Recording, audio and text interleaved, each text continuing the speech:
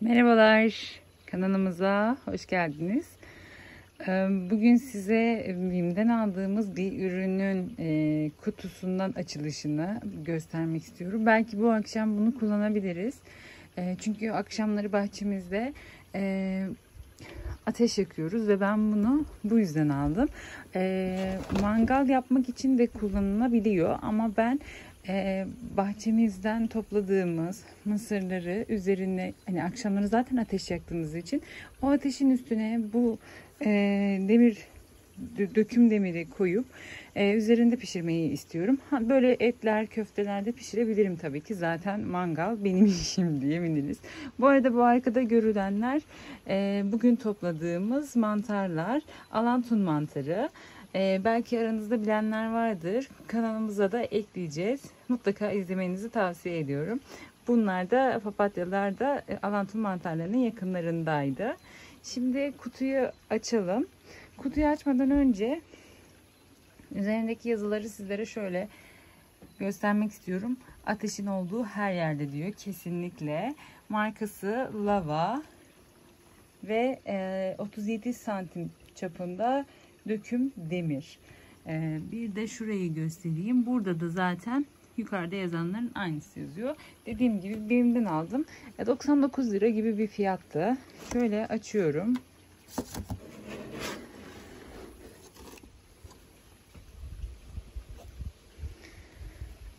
Evet. Bu şekilde ee, şöyle biraz ağır bir ürün ve oldukça keyifli görünüyor. Yani benim tam sevdiğim tarzda bir şey. E, zaten yeterince mangal malzemelerim vardı bu eksikti. E, çünkü dediğim az önce de söylediğim gibi yere ateş yakıyoruz. Yani kapımızın önünde ateş yakıyoruz ve o ateşte mısır pişiriyorduk. E, ama şimdi ateşin üzerine bunu koyduğumuz zaman yani aslında kalan közün üzerine bunu koyduğumuz zaman e, çok fazla yanmadan ve kolayca çevirebileceğimiz bir şekilde olacaktı. Güzelce kullandıktan sonra et, köfte, tavuk da pişirilebilir. Çünkü çok güzel. Şöyle size göstermek istiyorum. Bakın ayaklarına şöyle bir koruma kılıf koymuşlar. Ben onu çıkarttım şimdi. Ve bu şekilde. Diğerlerinde de kılıf var. Yani şu az önce mesela biz çıkartıp koymuşuz ya da bilmiyorum aldığımızda vardı. E, kutuya bu şekilde zarar vermesin taşıma sırasında diye böyle bir şey yapmışlar. Bence gayet iyi olmuş. Bir de içerisinde şöyle bir e, tanıtım e, kullanım ve bakım kılavuzu çıkıyor. E, lavanın tüm ürünleri içerisinde var sanırım. Şöyle devam edeyim. Nasıl kullanacaksınız? Tencerenizi diyor ama bu tencereye ait bir ürün gibi geldi bana. Ha, bakın baş, başka ürünlerini de göstermiş. Tümü için aynı şeyi kullanmışlar sanırım. Bu arada ben de buna ilk defa bakıyorum. Böyle bir e, böyle bir döküm tava da almak istiyorum. Ama her şey sırayla yavaş yavaş. Şöyle devam edeyim bakalım başka resim var mı? Başka bir resim. Yok yani bu bizim aldığımız ürünü koymamışlar. Demek ki bu gördüklerimizden başka da e, birçok çeşitleri var. E, dediğim gibi Evet burada yok ama internet sitesinden takip edebilirsiniz. Bin mağazalarına da oldukça bu üründen fazlaca geliyor. Ee, kullanmadan önce mutlaka kullanım talimatını okuyun. Benim okuduğum bir kısmım vardı. Ee, yani ateşte işi bittikten sonra tam soğumadan e, temizlemeyin diyor. Yani tam soğumasını bekleyeceğiz arkadaşlar kullanmadan kullanımdan sonra temizlemek için böylece size aldığım bu bana göre muhteşem ürünü sizlerle de paylaşmış oldum. Şöyle bir e, son şöyle altını da göstereyim. Bakın alt tarafı da bu şekilde. Yine buradan bunları çıkartabiliyoruz. Ben tabii şimdi kullanana kadar kutuda muhafaza edeceğim için bunlar böyle kalır. Bu arada buraları da oldukça sivri yani e, sivri sayılır. Dikkat etmenizi tavsiye ederim. E, tutma yerleri de şöyle. Tutma yerleri de var. Gayet iyi. Tabii ki de sıcak durumda nasıl kullanılır bilmiyorum. Ee, yani her türlü sıcak olur zaten. Ama en azından bunun için ayrı bir kısım yapmış olmaları da güzel. Beğendim.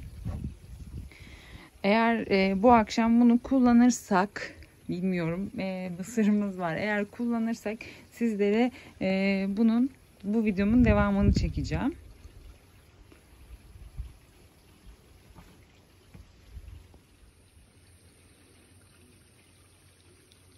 Tanıtım videosu gibi oldu ama şu anda çektiğim kesinlikle tanıtım videosu değildir.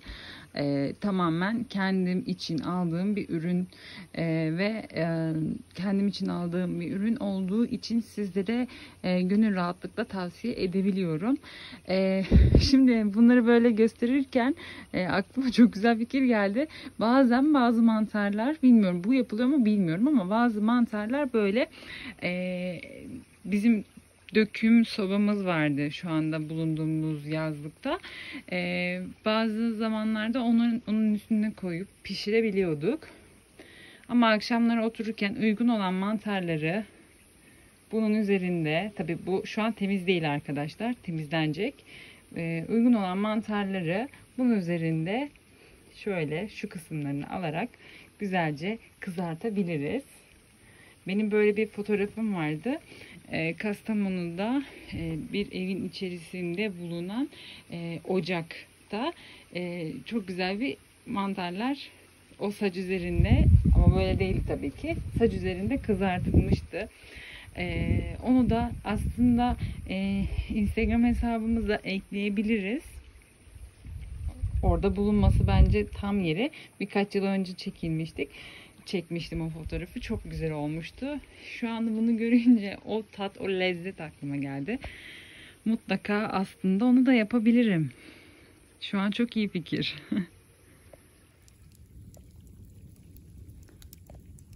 evet, şimdi ateşin üstüne bakın. Arka tarafta ateş yanıyor. Közleri bu tarafa çektik. Üzerine aldık. Şu an ısınıyor. Mısırlarımız da burada. Biraz daha ısındığında mısırların üzerinde pişireceğiz.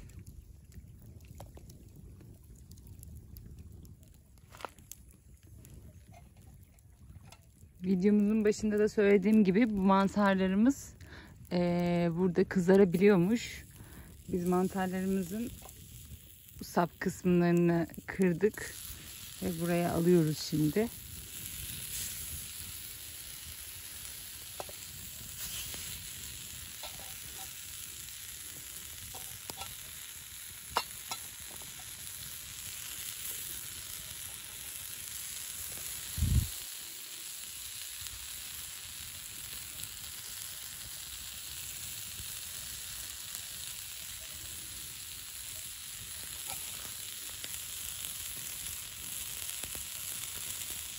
Bakın kızarmaya başladı. Ama alta koyduğunuz köz önemli tabii ki.